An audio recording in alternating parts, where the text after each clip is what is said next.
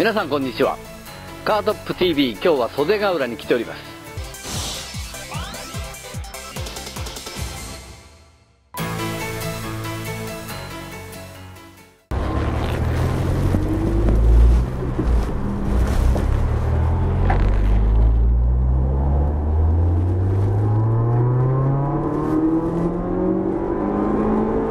ちょっとパワフルですよこれ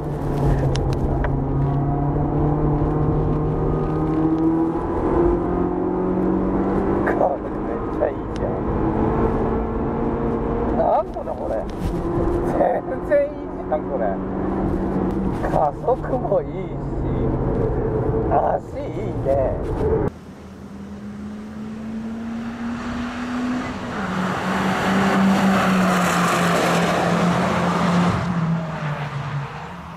カフェいいよこれ。ねえ。それとってもいいんですけど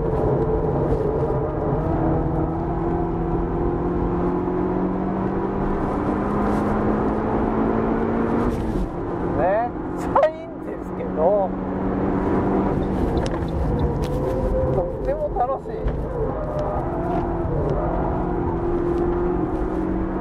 これはね攻めたくなるよこれこの車。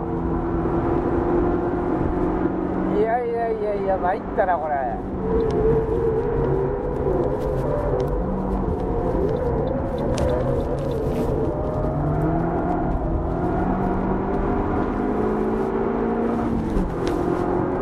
これは楽しいわ。笑うしかない。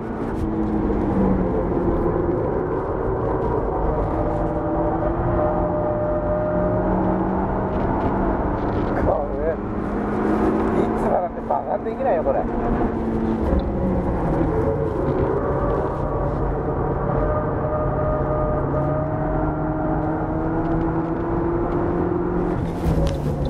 これは楽しいですねやばいんですけど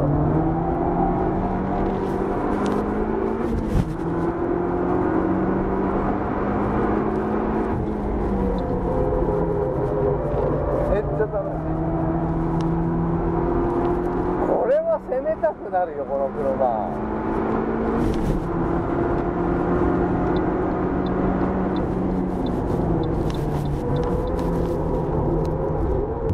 ただこうハンドル切ってアンダーが消えるのを待つんじゃなくて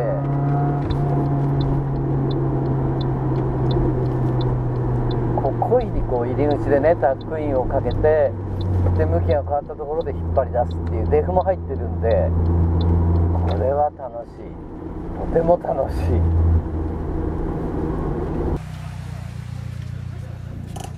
これはもう面白いよこれ。売ってんの本当にこれ。これはいいよ。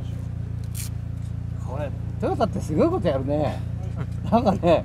あのー本当にトータルバランスの勝ちっていう車だねこの車ね。よくここまで仕上げたなっていう。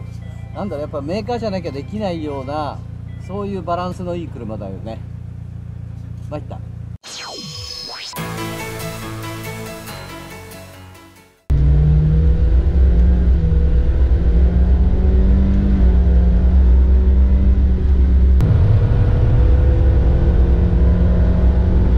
パワーがないのはしょうがないよねただ楽しい足だ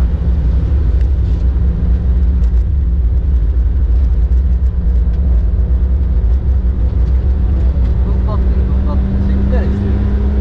不安要素がないねニヤニヤしてないこの足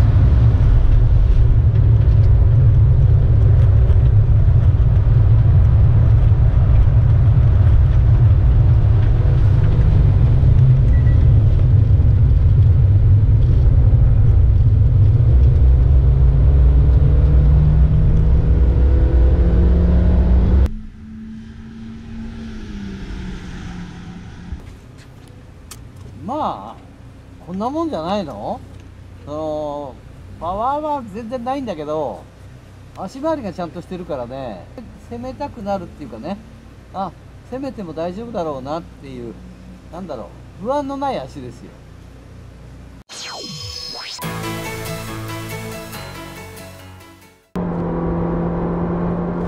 ノーマルをちょっとこう見て見た目とかねそういうのを良くしたような感じだって言ってましたけど、まあ、これはいいぞ向き変わりやすい。あのー足はねさっきのに比べるとちょっとこうストロークはするんだけど柔らかめの。だけど向きを変えるんだったらこっちの方が楽しいかもね。スコーナーだけ見てもここもそう。向きが変わりやすいこっちの方が。ストロークがあるから後ろを動かしやすいんでしょうね。静かにしたのが好きな人はさっきの方がいいんじゃない？僕らみたいにこう後ろを動かして遊ぶっていう人はこっちの方が楽しいかもね。この人何をやりたいんだろうねう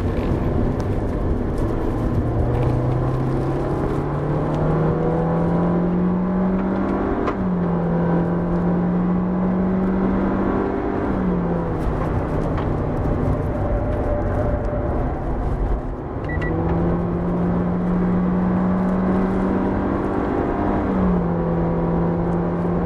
この体の向きが変わりやすい。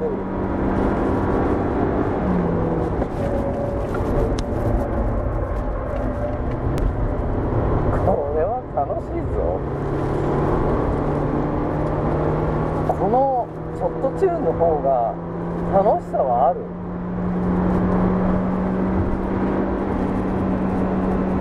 柔らかいっていう人もいると思うんだけどその荷重移動をさせて曲げるっていうのを楽しみたい人にとってはこっちの方がいいと思う。こっちの方がいいんですけどこっちの方がねあのー車を動かしやすい荷重移動を起こしやすくてこっちの方がちょっとチューンなんですけど面白みはこっちの方がありますよ。